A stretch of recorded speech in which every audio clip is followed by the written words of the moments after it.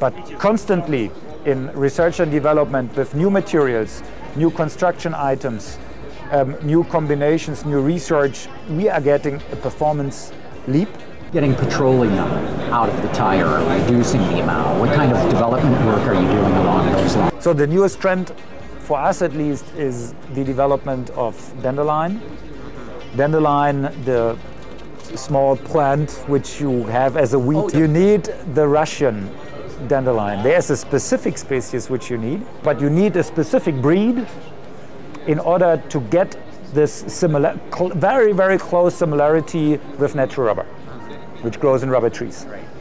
So this is known since long, but so far nobody really addressed it with continuously working on the breed, extracting the latex out of this breed and then building tires out of that.